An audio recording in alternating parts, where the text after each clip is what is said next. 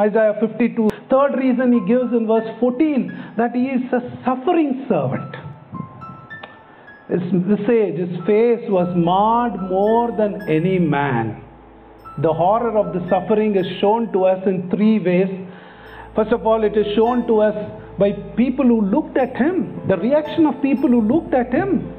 The people who looked at him, as soon as we see, we have not seen the servant, but we look at the people, they are shocked, they are horrified. What are they so horrified about? They look at the servant's intense suffering, and that kind of horrifies them, shocks them to the core. What is that suffering he's going through? Look at, you know, the, the whole impact of this verse I, I've been telling you, it's in the understatedness. It doesn't tell us everything. It leaves us to the imagination. The one thing that it says is his face was not looking like a human face. Right? That is the kind of intense suffering he went through.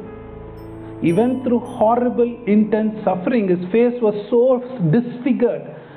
You know, when you see somebody, you would have seen many faces with accident and disease and all that, but you can know this is a human being. But he went through such intense suffering that we can't even figure out if this was a human face.